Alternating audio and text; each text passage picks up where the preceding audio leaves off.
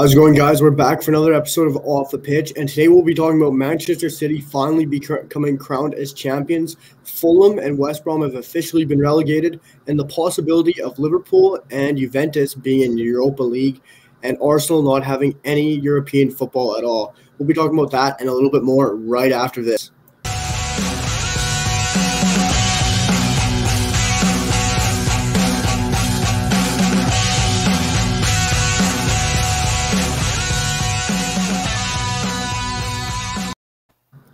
Okay, everyone, we're going to kick the show off with Manchester City being crowned as the Premier League champions of 2020 2021 after Manchester United have lost to Leicester City. It's kind of a throwaway game for Manchester United today. They didn't really give give a rat's behind, and they just threw it away, really, and let Leicester win and gave City the crown. Um, was it inevitable to you? Did you see this coming throughout the whole season? Uh, it definitely came apparent to me fairly early on. Uh, they looked to be a, a, very dominant side from the get go, although they didn't necessarily show it in the record. Uh, they were a bit further down the table for a bit, but their issue was not the defense, which we've seen in past years has been the one weakness for City. It was their lack of scoring. You knew that was going to come. Uh, and it looked like they might have some competition on that battle. It looked like Chelsea, Tottenham, Manchester United might be able to give them a run. Manchester United hit their best form a bit too late. Tottenham fell off, and Chelsea had a rough run before Tuchel came in, and inevitably that just led to City being at the top. Liverpool just dealt with way too many injuries issues this year for them to be competitive, and so it ultimately led to them just having a comfortable round the title. And as far as their lineup and their roster just goes, they've stayed arguably the healthiest among some of the top teams this season, which in this season more than any other has played such a massive part Uh, and their overall talent on the roster is just so vital. The signing of Ruben Dias was so important for that back line to become one of the best back lines we've seen in recent years in the Premier League. And along with that, and all the amazing attacking options they have up top, even without the play of Aguero and Gabriel Jesus for a lot of the season, they still managed to put in so many goals with the likes of De Bruyne and Sterling and Mahrez and Phil Foden, who really emerged even more so this season. That was a very dominant season from Man City and a very well-earned title from them. Yeah, for sure. I predicted City to win this title from the get go. And I didn't expect them to have such a shaky start as we saw at the start of the season with Tottenham and Chelsea starting to run away with it and United catching up. And then City had a rough start, like I said, and they picked it up midway through the season after Kevin De Bruyne got back and without Sergio Aguero through most of the season and adapting with a false nine, which was very impressive from Pep Guardiola, I might I say. I usually criticize his tactical awareness and his coaching ability, but he's really changed it up. Didn't play with a striker, dropped the false nine back. He's used many players in that position. Bernardo Silva, Jesus very rarely. He's used the likes of De Bruyne, Phil Foden, Sterling once in a while, and he's really adapted. He's played very well, and we usually criticize the back line, but they, the back line's been phenomenal, like you said. The signing Ruben Dias has really solidified that. And John Stones has stepped in and been the number two right beside him.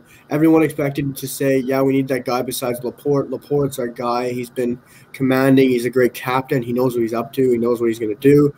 And they got the left footer with Laporte. And Laporte's been a number three, which I never would have expected. John Stones, heavily criticized by a lot of England fans all the time. And this year he's just stepped up and he's taken that role, which everyone thought he would be taking once he joined City.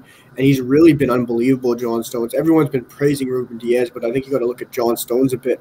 And I think him and Maguire are going to make a fantastic partnership in England.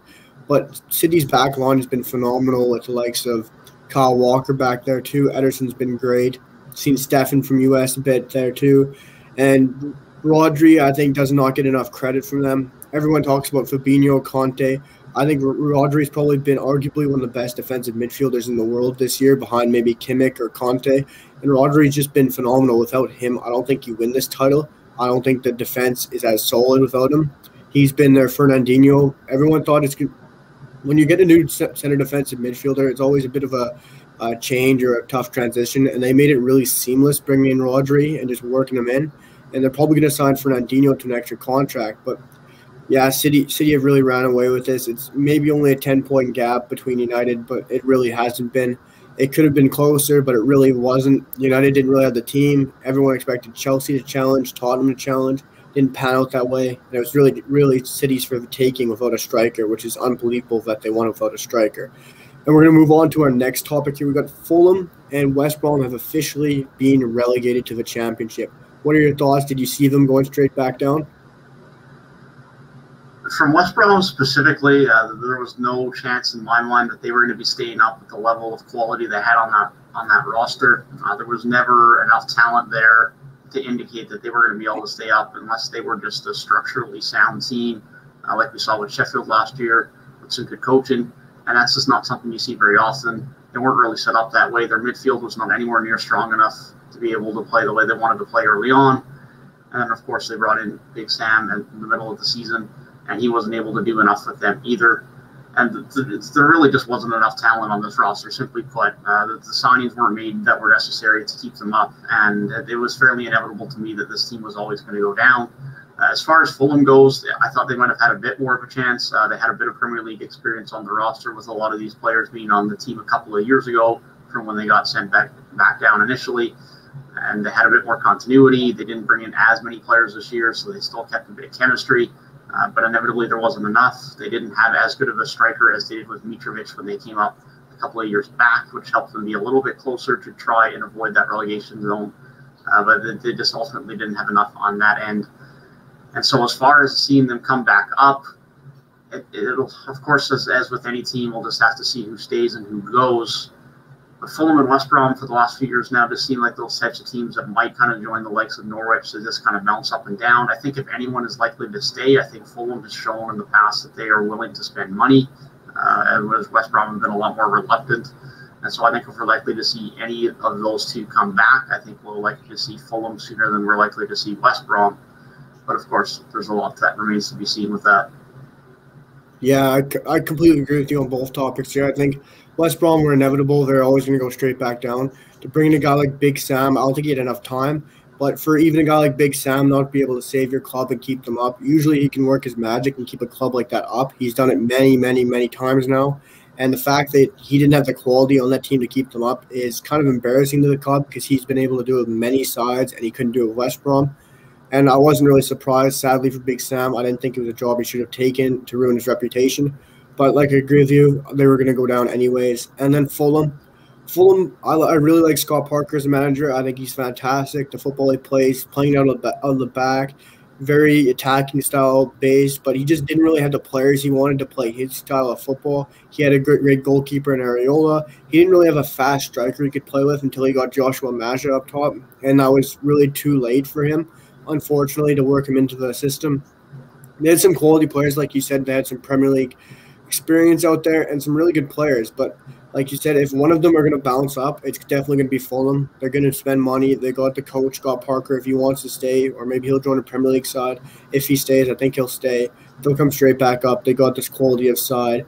Some players leaving on loan, but I think they can do it. And uh, moving on to another championship player right now, could be coming up this next season in the playoff system, and that is Ivan Toney. We're going to talk about him briefly. He has broken the scoring record in the championship, scoring 31 goals, breaking the championship record. What do you think of Ivan Toney's season so far, and you think he'll maybe move on?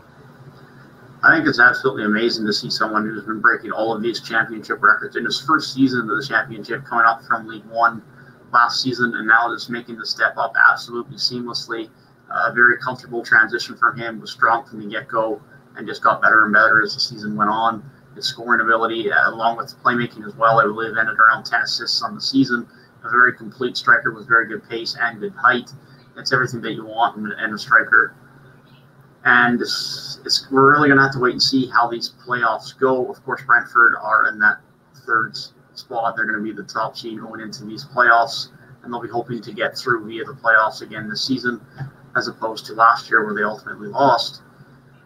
But hopefully they can win, and if they do win, I wouldn't be surprised to see him stay along on that Brentford roster. But I have no doubt if they don't, and Brentford are back in the championship again next season, that we will see him move on to a Premier League club.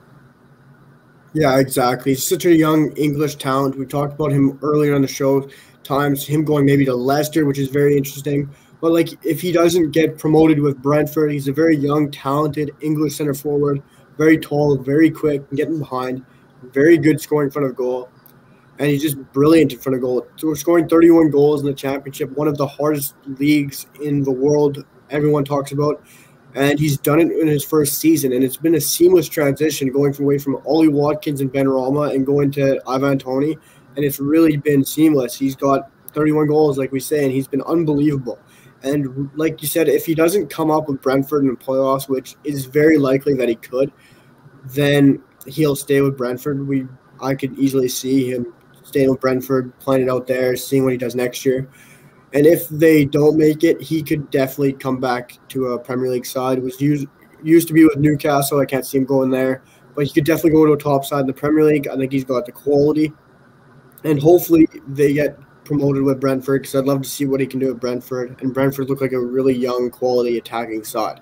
Before we wrap up this break, we're going to move on to Juventus and Liverpool and a bit of Arsenal. Juventus and Liverpool are currently sitting in Europa League spots. Everyone's criticized Manchester United once in a while for being in Europa League. They've criticized Chelsea, Arsenal, and now you're getting two big dogs in Europe Liverpool and Juventus. Juventus currently sits fifth in Serie A and Liverpool currently sits sixth in the Premier League.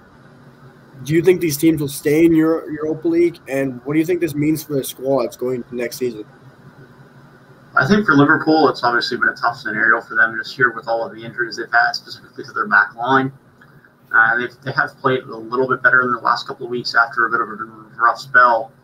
But I think at this point, it's going to be tough to see their way into the top four. Leicester picking up another win today, as you mentioned, against Manchester United just makes that even harder. Having to make up ground on Leicester and Chelsea now, it's going to be tough for them. They do have a game in hand on Chelsea, but it's going to be tough for them to make up that ground at this point in the season. And I, if the odds to say, and if I had to say, it's more likely they end up in the Europa League at this point.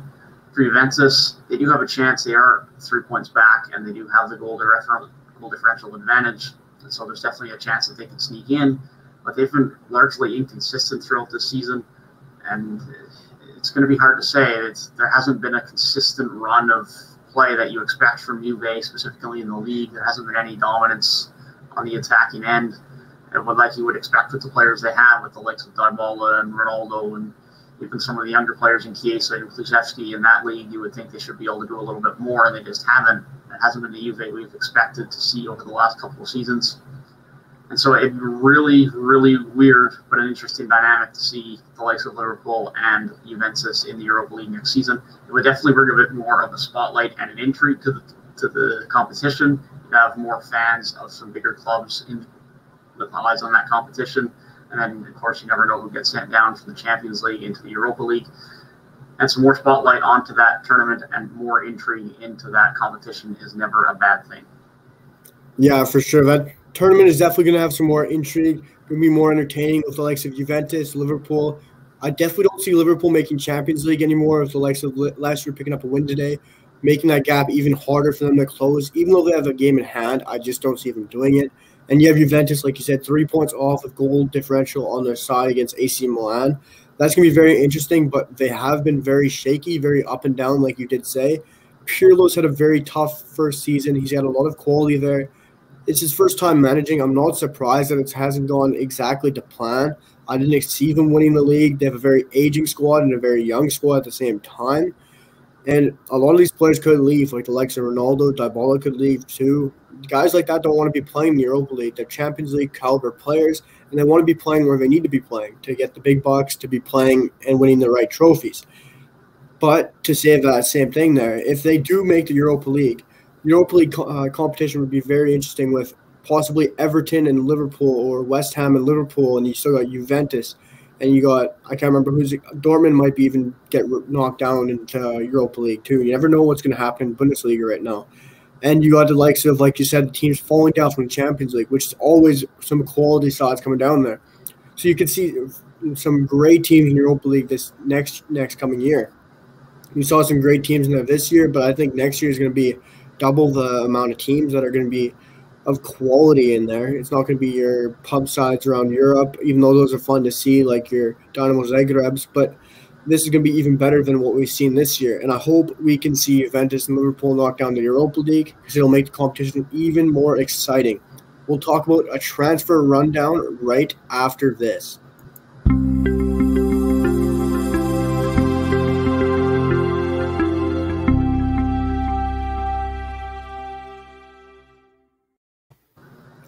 Okay, guys, we're back with a transfer talk, transfer rundown, whatever you guys want to call it. But we're going to start with an English player and an English club, Jadon Sancho. It's been quite heavily talked about last year. He agreed personal terms, but let Dortmund wanted 120 million. Manchester United stayed firm on 80 million, and deal never got made. But right now, Dortmund have dropped their asking price to 85 million to 90 million, and it's talks that Manchester United are willing to put a bid in around 80 million to 85 million. Do you believe that to be true? And do you see Jadon Sancho joining Manchester United this offseason? I think there's definitely a lot more willingness from Dortmund to sell him this summer. I think last summer they were a lot more reluctant, uh, as we saw with that 120 million asking fee. Uh, I, I, think it became pretty apparent early on that Manchester United weren't going to reach that, and Dortmund didn't really seem very willing to reduce that price, move below that 120 million asking price. But obviously now things have changed with the likes of the pandemic, and money is a bit of a different issue. And so they seem to be a little bit more willing to accrue some funds out of Sancho and, of course, Erling Haaland as well this summer. And so I guess the question really becomes within the Manchester United organization is do they want to fork out that money for Jadon Sancho, or do they think that Mason Greenwood is going to be the guy there for them at that right wing spot, that they want to continue to develop him at that position? That's really just going to depend on what the internal management wants. I think the move is going to be a Jadon Sancho purchase, if I had to guess, and I think that would be the smart decision if I had to guess it. Mason Greenwood's finishing is just so lethal. I think his future has to be in more of a finishing role. Not that you can't be as a winger, but I think his finishing in front of net and his poise at that position is just too great not to be someone who's a central attacker. And so I think this fit, of, fit and signing of Jadon Sancho makes sense within this Manchester United team. Yeah, for sure. Manchester United definitely need a right winger. They need a central defensive midfielder and a center back. They're definitely going to get one of those three or two of those three, maybe. But there's been a big surprise of the camp saying there's going to be a big surprise coming of Manchester United this summer because the Glazers know that United needs something for them to rekindle their relationships with the fans after the Super League, the riots, uh, the protests, and everything going on for decades with the Glazers, and the Glazers need to somehow rekindle a relationship with the fans. And it's either going to be a Sancho, or Declan Rice, or a Rafael Varane signing. It's got to be a big splash, and they know they got to make one of them to try to get the fans in their signing. And I think it's got to be Jadon Sancho. They want that marquee guy, the guy who's going to sell jerseys, the guy who's going to score the goals, get assists. And I think you're right. I think it's going to be Jadon Sancho joining Manchester United this summer. I think United's going to hold firm and get that 80 million.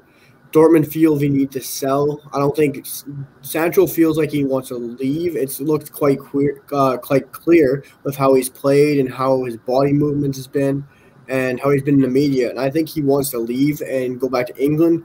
He kind of wanted to do that last summer, but then Manchester United fell through on that. And I think you got other teams involved in this deal too now. Chelsea maybe, probably not as much as they were last summer. And you still got Liverpool. I think Liverpool is a heavy contestant in this now too joining Manchester United in this. And I think he does go to Manchester United because we really need that right wing spot filled. And like you said, Mason Greenwood is a shoe in to play striker behind Edinson Cavani next year. And Martial looks like he might leave eventually, and Cavani's obviously only going to stay for a year. So that looks perfect for Mason Greenwood to step in. And hopefully he's going to be prepared after Cavani leaves and once Jadon Sancho joins in this offseason.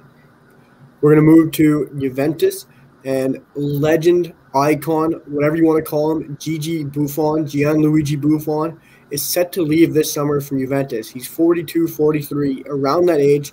He is quite up there in age. And I'm not surprised he's going to leave. He could have stayed, has been a third goalkeeper or even a second backup, but he's set to leave. And I personally don't know really where he's going to go, where he's going to end up. Probably some Italian side. Probably won't go back to PSG or he'll retire. Where do you think he'll end up, or where would you like to see him go? I think from what the little I know of Gianluigi Buffon and what he'll want at this point in time in his career, I, I wouldn't be surprised to just see him find a club where he can just get his best chance at winning a Champions League title. That's something he's been chasing for a long time. Uh, it's obviously something he wants. And so I think that's something that he will try and strive for in this next move if that is what he wants to do. But it's also very possible that we see him retired as well. Of course, as you mentioned, he is now in his 40s. He is definitely not a spring chicken anymore. And he's not exactly getting a ton of playing time. He's much more there for a backup for locker room purposes, that leadership, that experience that he will bring to a team, and the benefits that that has that just don't get mentioned about or you don't see on the pitch. But I don't think we're going to see him go somewhere that is a weak side. Uh, I would expect he goes and performs as a backup for a team that can compete in the Champions League, so he can try and get himself some more trophies. Um, or as, I mentioned, it's very possible we see him retire as well. It's, it's, it's really just an up in the air thing every year now for Gianluigi Buffon. But I think those are the two possibilities for him moving forward. Yeah, definitely. He's either going to be, for me, he's either going to retire and become maybe a backroom staff at Juventus. I don't see him joining anywhere as a staff or backroom anything besides Juventus or in Italy because he's just born and bred Juventus, and I could definitely see him going uh, going to retirement, like you said, and becoming goalkeeper coach for Juventus, or just becoming backroom staff, or the other end of the spectrum, like you said, joining some team as a second or third string goalkeeper and going and winning a Champions League. But that's really just a guess and hope that you pick the right team and you choose the right team. He thought PSG was going to do it when he joined PSG. That didn't happen when United upsetted them. And he's really just got to, if he wants to win a Champions League, he's got to throw a shoe in the hat and hope he chooses the right team. Because I think he's got to choose a team in the Prem, and I don't really see him going to England. So it's really going to be interesting to see what Gianluigi Buffon chooses for his path of his career at this age of his uh, career, like I said. And it's going to be interesting to see what he does because he's, like you said, he's no spring chicken. He's in his 40s. So it's going to be really interesting to see what he does. We're going to move on to Spain and a young Ajax midfielder. Yes, it's not De Jong, it's not Matthijs de Ligt anymore, who was talked to going to Barcelona years ago, and Bar- or Sergino Dest, even another Ajax player. Ajax players love to go to Barcelona. And here's another guy who's been mentioned, Ryan Gravenberch to Barcelona. His market value is around 28 million. There hasn't been much talk of a fee. I haven't heard much of anything like that. But his market value is around 28 million. Barcelona are really strapped for cash. They're going to sign Messi more than likely this off season. Do you think he'll go there, seeing that uh, De Jong's there, Sergino Dest there? Think any kind of connection is going to happen? I think it definitely makes sense from the, the, the Ajax and the Dutch perspective, no doubt. Uh, of course, with Ron Koeman being there, and as you mentioned, you have De Jong and Dest there as well. There's definitely a lot of connections there that make sense from uh, an, an, integration of a new young player. It always helps when you have someone that can connect with that player that has formed a relationship already with that player in their playing career. It definitely makes that transition a lot easier and makes a lot more sense to bring in a young player. But as you mentioned, Barcelona obviously are in a very tough time financially right now. But it makes sense for them if they are going to want to start young and start building up a new young dose of players that they are going to be interested in Gravenberch it really just depends on what their mindset is. If they want to start bringing in a few more veteran players to start bringing up their quality right now, or if they sense they're at a point in time where Messi is at the back end of his career and they want to start bringing in young talent so that in a couple years' time, hopefully their financial situation is a bit better. And when Messi moves on, they can bring in a star player or two then and have these young players developed for when that new system and that new style of Barcelona comes in at that point. Of course, then Messi could be gone. Sergio Busquets could very well be gone there could be a lot of changes within Barcelona at that point. And so bringing in some new players to start this new era of FC Barcelona Barcelona soccer definitely makes sense. Yeah, I couldn't agree with you more. Bringing in young talent like Gravenberch to play alongside De Jong, I think they both perfectly fit Barcelona DNA, pass and move, tiki taka kind of style. And to bring in young talent, like you said, you got to go young eventually. And we've seen it bits by bits in this season with Barcelona, likes of Riqui Puig, Sergino Dest, uh, going very young, and you would have seen Ansu Fati more if he didn't get injured. And they got a very good young side, Barcelona. And if they can keep going young like this and keep bringing more young talent, they got a bright future. And you got to move on from Messi, Busquets, Piqué, Ter Stegen eventually. And if they can start doing that slowly, one by one, each season, integrating the young players, it's going to work even better for them. And like you've seen in Madrid, Real Madrid haven't done that at all. They're still very, very old. 30 plus is most of the starting lineup. Casemiro, Modric, Kroos, Benzema, the likes of Sergio Ramos, and they're uh, Carvajal. They just got an old team, and Real Madrid haven't started to do the rotation like Barcelona have, and Barcelona have done it very well. I'd have to say, didn't look so good the year before, but this year looked very good. Hopefully, they can continue on that run.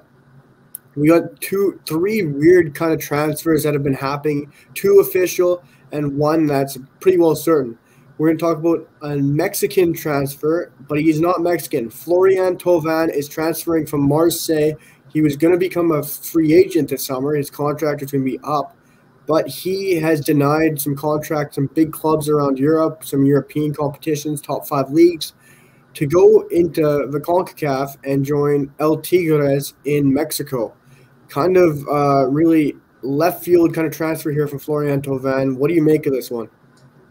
Uh, I this is a really weird transfer. Like I saw I saw this one and it was like okay, and so why?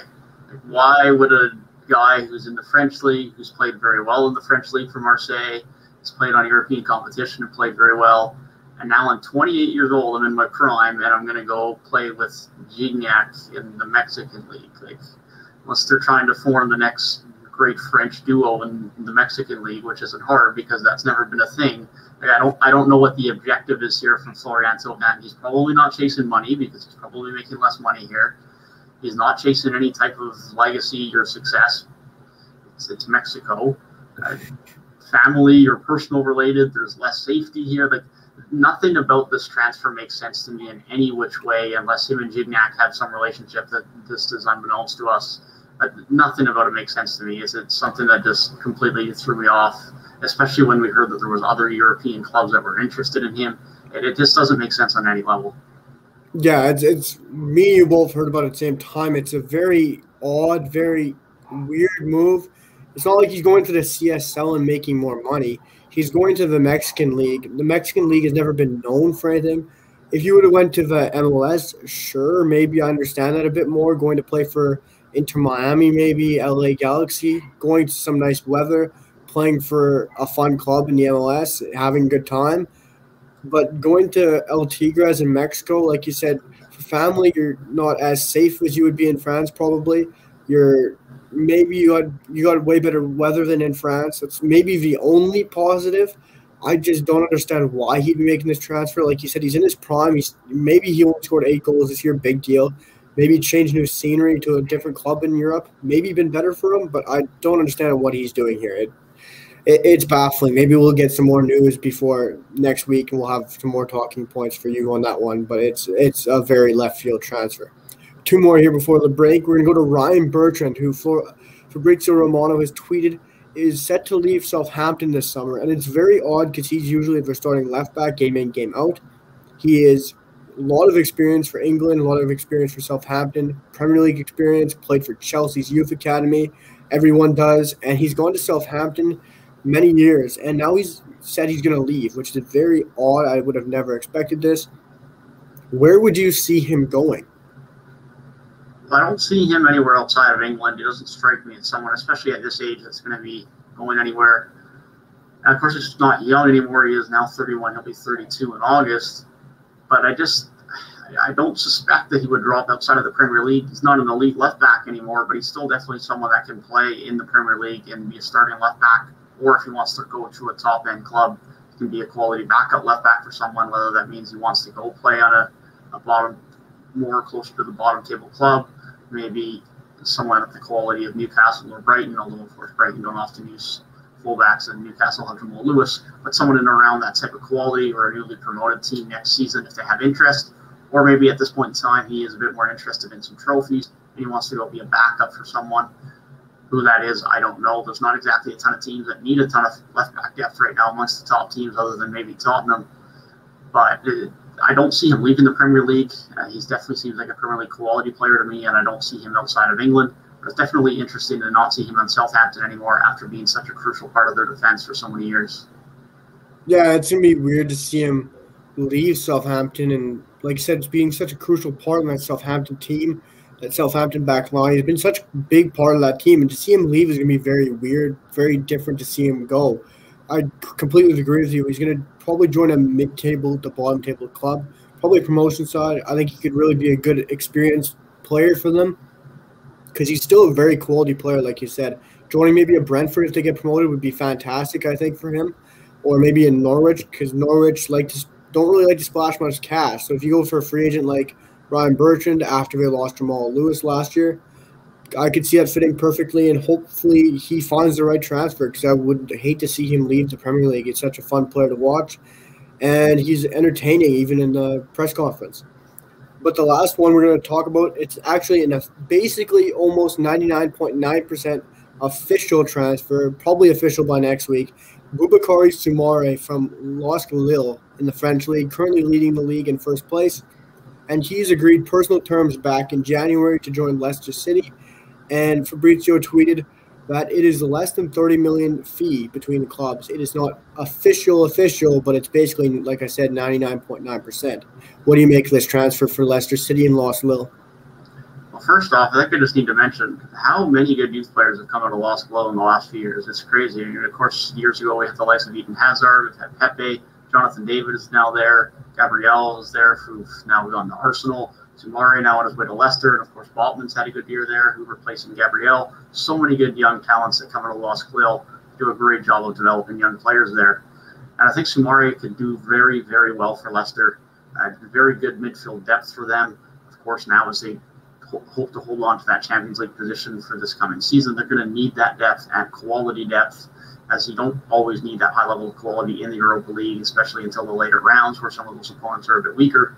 But if their ambition is to do well in the Premier League and the Champions League next season, in addition into the midfield is going to be very important for them, specifically someone that can give Ndidi a bit of a break. As Ndidi is just such a workhorse for this team. He's one of the most underrated players in the Premier League, in my opinion. Such a great center defensive midfielder. Who's also played a center back for them this year a bit when they've had some injuries. Such a versatile, good player for them. And I think having someone that can give him a bit of a break and play some center defensive midfielder minutes for them is going to be very valuable. Yeah, getting a guy of Boubakary Soumaré's quality in at his age, I think he's 20, 21. He's such a young, talented player. Like you said, lots of talent coming out of Angeles. Even the likes of Nicolas Pepe and Renato Sanches is still there. They've, they've got a beautiful youth academy. And to bring in a guy like Boubakary Soumaré to start ahead of Youri Tielemans or start ahead of Ndidi in rotational games or even big games when you need him to come in as a sub or bring him on as a defensive player late in the game he's fantastic. It's at, at his age for a guy maybe 25 million.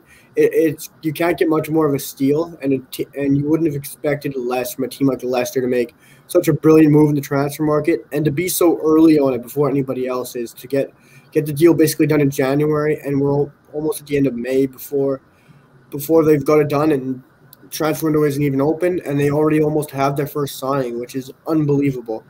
And we would never expect less from Leicester City. And that ends up our transfer talk and transfer roundup for this week. And we're going to head into our Premier League awards for this year right after this.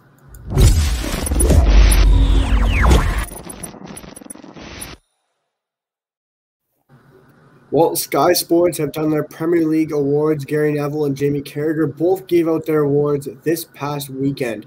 So we're going to do exactly the same. And our, our awards are going to be the signing of the season, manager of the season, player of the season, defender, attacker, midfielder of the season, and young player of the season to wrap up our show. We will start with, I think, the easiest one, probably the manager of the season. There could be some controversy here. We'll see what you have to say. I think I went for outside show, but we'll go with yours first. Uh, I think there's two guys for me that I definitely had to consider for this. One, of course, being Pep Guardiola, who led Manchester City to the title of the season.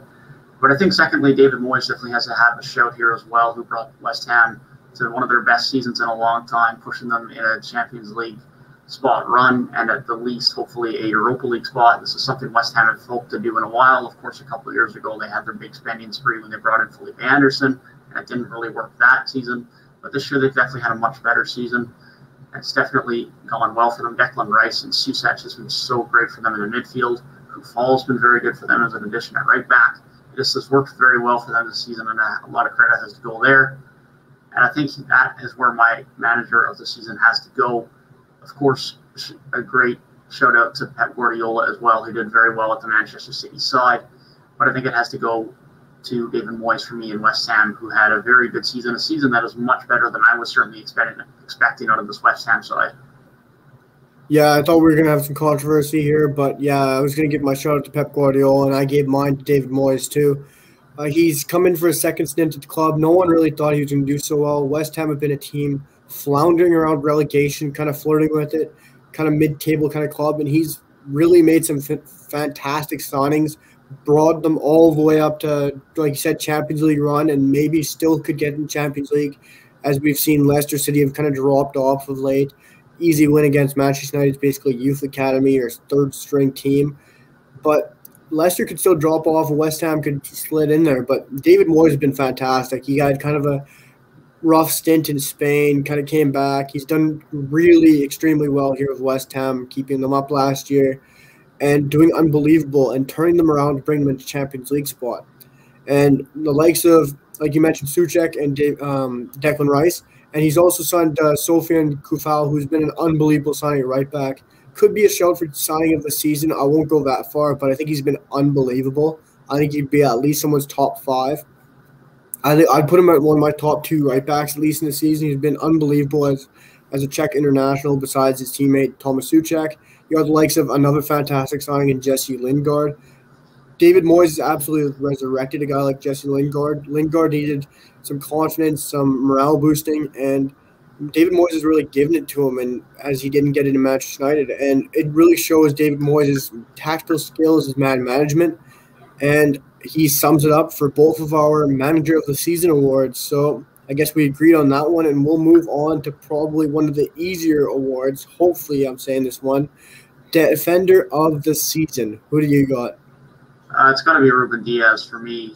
For someone to be this young that have no Premier League experience. Of course, played over with Benfica in the Portuguese league, who have produced many good center backs over the years, most notably David Luiz. And of course, this is just is unheard of for anyone to transition to the Premier League this well in their first season. Never mind a young center back getting used to the country, the language, the style of game, all in the middle of a pandemic to come in and play this well and absolutely lead this Manchester City defense one of their best defensive records in club history is, is just something that I totally did not expect.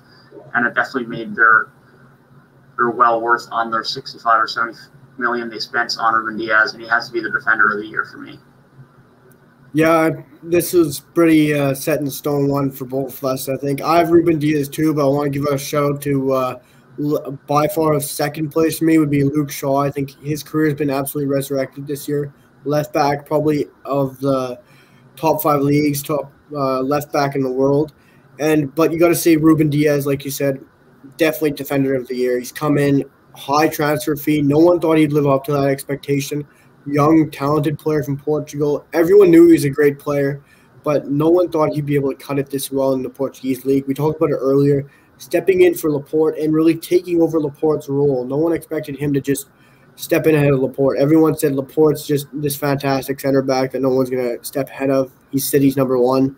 And Dias has stepped in. He's taken John Stones under his wing, and they're both extremely young. But for Dias coming with this kind of confidence, this kind of leadership, and kick Laporte onto the bench, and then bring Stones in, it's just been unbelievable from a guy his age, like you said, a new language barrier, a new country, a new city new team, and it kudos to Pep Guardiola for coaching defensively for once in his career and actually coaching defend defenders and tactically playing defensively for once. And it's been great to see. And my defensive award winner would have to be Ruben Dias. So both of our awards are currently the same for both manager and defender. And we will move on to the midfielder of the season award. Who do you got?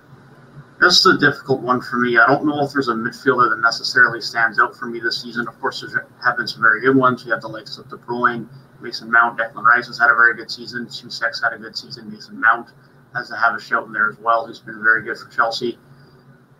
It's very hard for me to pick one midfielder of the season. If I have to pick one, it might be Bruno Fernandes just because of how much he is the tempo as the leader of the Manchester United attack. And without him, just isn't the same heartbeat and, and prowess in that Manchester United attack. Of course, Marcus Rashford's had a very good season as well, and he makes some very good runs down that left hand side. But some of those balls and, and those decisive plays just aren't made without Bruno Fernandes. And I think that Manchester United attack is just so different with him in there, as we saw when he was added to the team last January.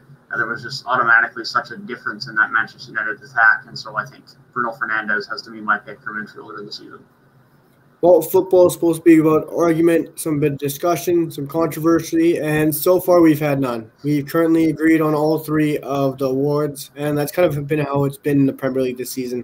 It's been kind of set in stone. I mean, you could have given it to a lot of different midfielders, but the stats Bruno's kind of put out this year has been unbelievable.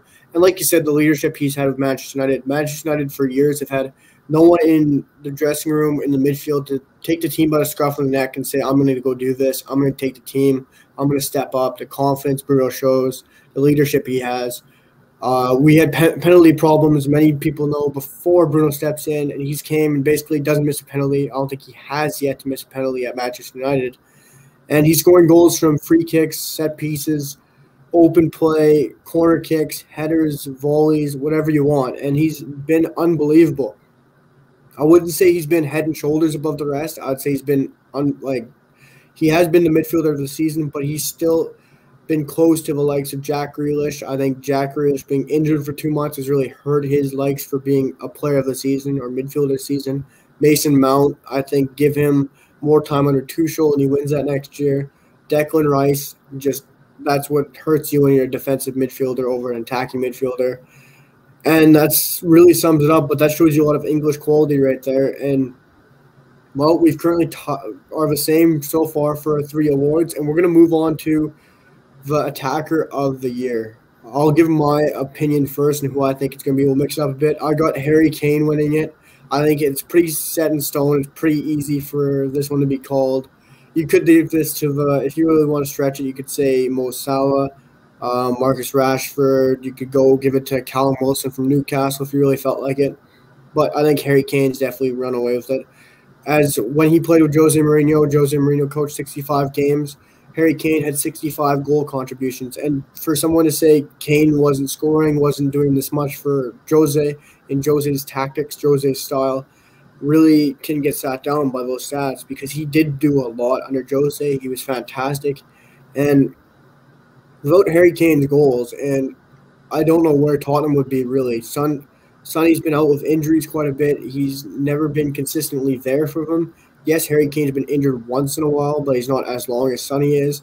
And when Kane plays, Kane scores. Kane's like Louis Lewandowski, and I would put probably Harry Kane as probably the best player in like best striker in the world right now, just ahead of Lewandowski because he can set up goals, he can pass the ball, he can head head goals, volleys, whatever you want. Harry Kane's can do it, and Harry Kane would be my attacker of the season.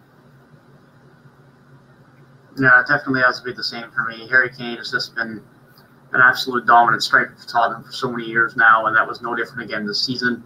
His ability to score goals in every which way is, is something that just is very unmatched in the world of football. There's very few at his level. Of course, Lewandowski is there, and Suarez, although not at the same level, and the likes of Benzema. There just really isn't that many number nines at his level.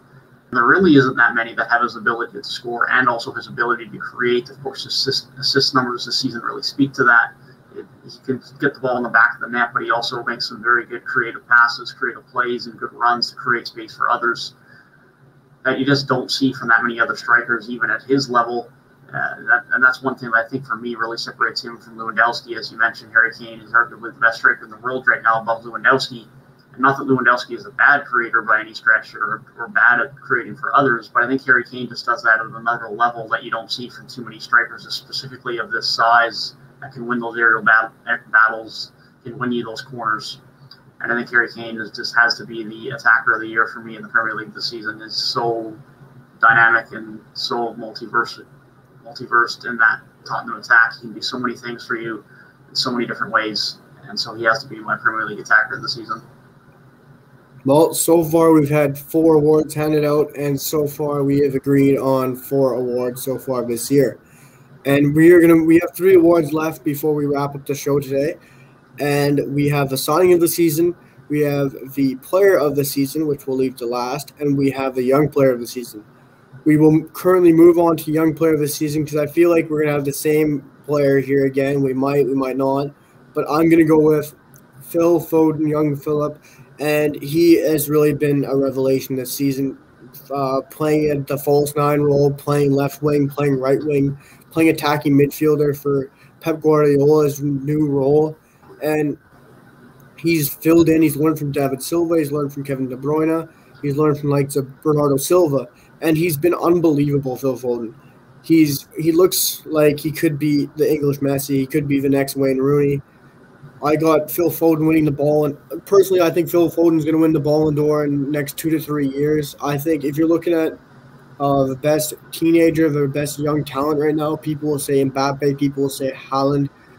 Some biased Manchester United fans will probably say Mason Greenwood, but you got to say Phil Foden. I think I think Phil Foden's so versatile on the pitch; he can play wherever you want him to.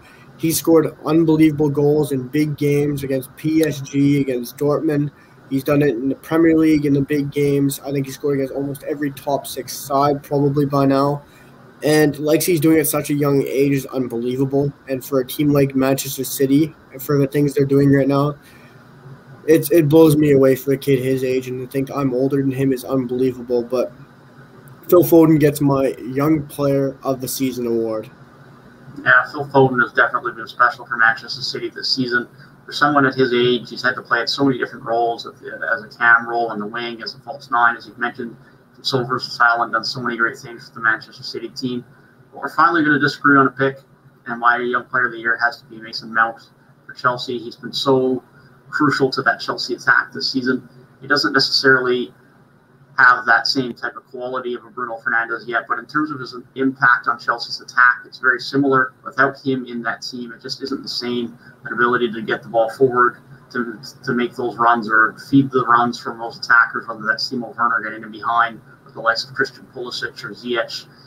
There's no one else on that side who pushes the tempo and gets the ball up the pitch like he does and can pick the ball up from a bit of a deeper position and move it off the pitch. Without him, Chelsea really, really notices him without the pitch as far as pressing and getting the ball back or creating opportunities to score. And so I think for me, Mason Mount has to be the young player of the year. Well, we finally disagreed, and it came down to the young player of the year. And we have two more awards to give out, and maybe we'll disagree on two more. It'll be interesting. We're going to leave the player of the season for last, like I said, and we're going to move on to signing of the season. I can basically disagree that we're going to disagree on this one. Agree to disagree, but what do you have this one signing of the season? This one for me is, is definitely got a few options. Uh, for me personally, I think this has to be between Ruben Dias, Edouard Mendy, and Thiago Silva. And the only reason that Edouard Mendy and Thiago Silva get in in comparison with Ruben Dias is due to the cost of the signing. Because, of course, Ruben Dias has been the best defender in the Premier League this season and has had such a great impact. But the fact that Chelsea were able to pick up Edouard Mendy for the price they did and how good he's been able to be after coming over from France, and Thiago Silva to be able to pick up someone of his quality on a free transfer and have such an impact of leadership and poise and presence on that Chelsea back line that was really needed. And of course, just was even more amplified when Thomas Tuchel came in, someone that obviously Thiago Silva is very comfortable playing under, and just was a very smooth transition. And of course, Ruben Dias, we talked about, he's one of the greatest defenders in the Premier League this season, and someone who has a very bright future ahead of him. And I think as far as an impact on winning this season, I think it has to be Ruben Dias as the best signing of the season. Even though that hefty cost came in, that hefty cost has very much been worth it. And it's definitely brought a very drastic increase to the performance of that Man City defense someone that has raised the ceiling of that defense and definitely for years to come. Of course, Ruben Dias and John Stones are still quite young. They have a lot of years ahead of them if they want to. And his impact on winning the season has definitely been a large reason why Manchester City have had a good of, as good of a season as they have.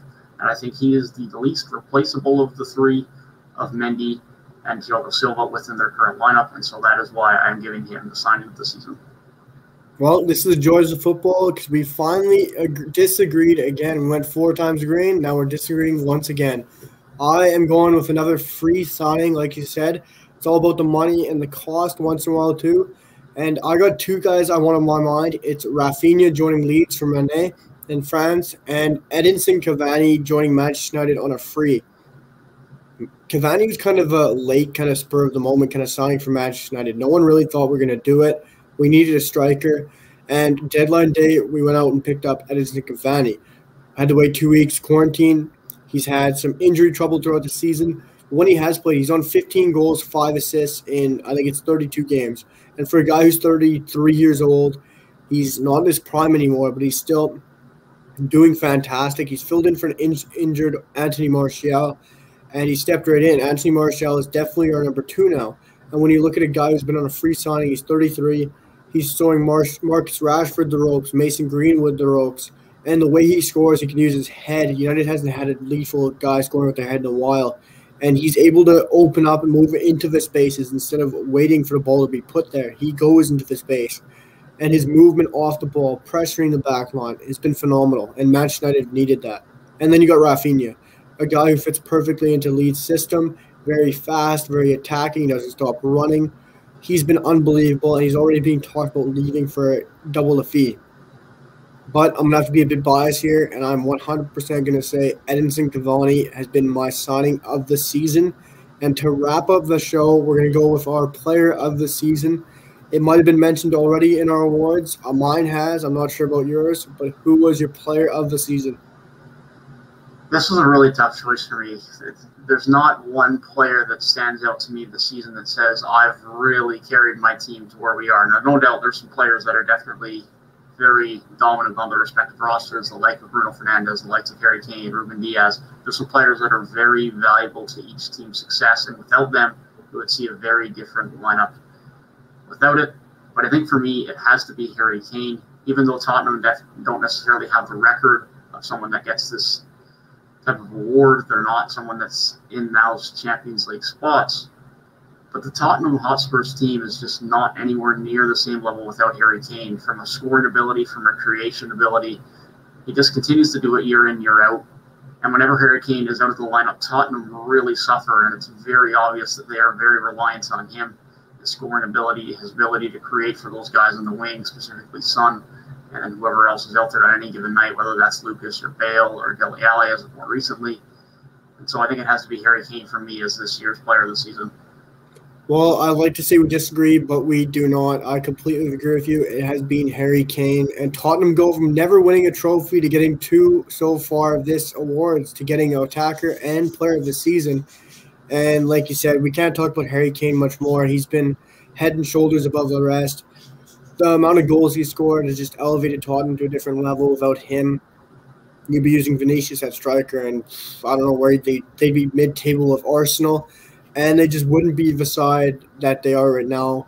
Jose Mourinho would be there for as long as he was, and you would see a completely different Tottenham side, and you wouldn't have you would have a lot of money coming in if you didn't have Harry Kane, but the goals would be next to nothing, and it's going to be interesting to see if Harry Kane leaves, where he goes after not being in the Champions League and Europa League. But he will be both of our player of the seasons. And that is going to be all for our show this week, everyone. That's going to be wrapping it up for another episode of Off the Pitch. And I can't wait to see you guys next week. It's been a great show, and I'm very happy you guys came again to watch the show. Thank you for being here every week, week in, week out. And can't wait to see you next week for another great episode of Off the Pitch. See you, everyone.